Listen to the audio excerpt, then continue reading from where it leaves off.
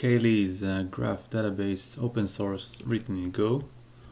Um, it's very interesting. It's very very fast.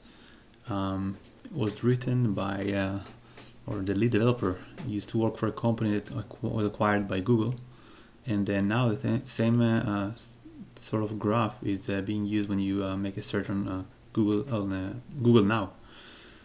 it's using graph databases, which is very similar to this one.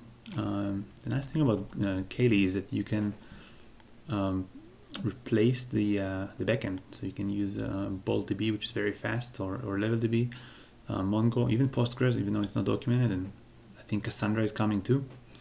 Uh, so you can start uh, with uh, embedded. Basically, you can embed it within the process, which is very fast using Bolt. And then if you say you need stuff like high availability or um, or clustering, then you can switch to uh, Postgres or uh, maybe Cassandra in the future uh, and slowly uh, scale with your needs. I'm going to show you the REST interface. It comes with, it, with the Cayley.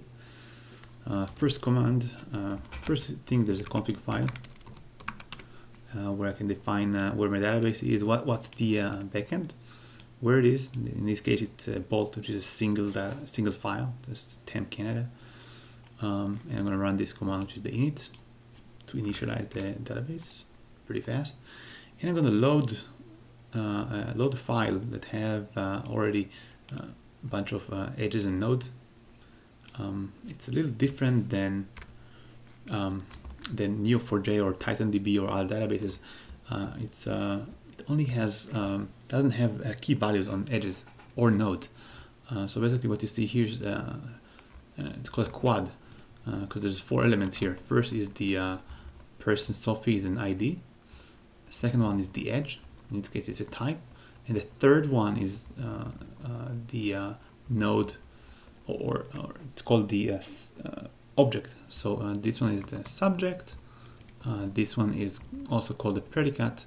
And the last one is the object.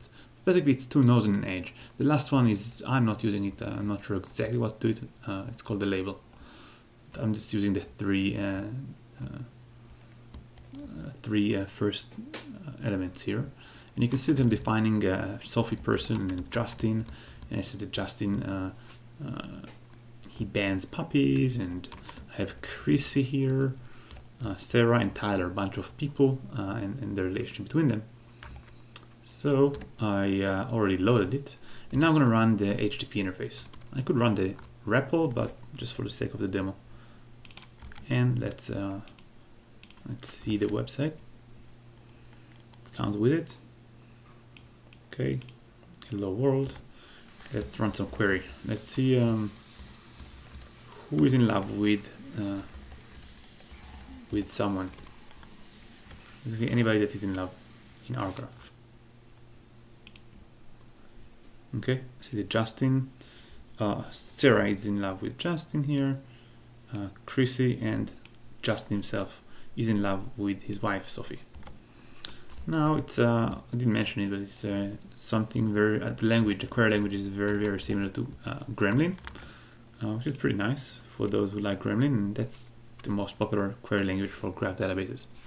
This is interesting. You can, see that you can use JavaScript here. Basically, it's JavaScript syntax, right?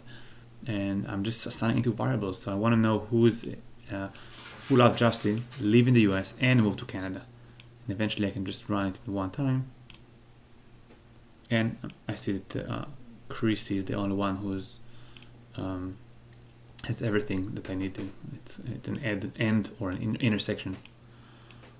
Um, yeah that's that's about it. And there's also a way to visualize it similar to Neo not as fancy but uh, uh, it's pretty cool. Um, that's it for Cayley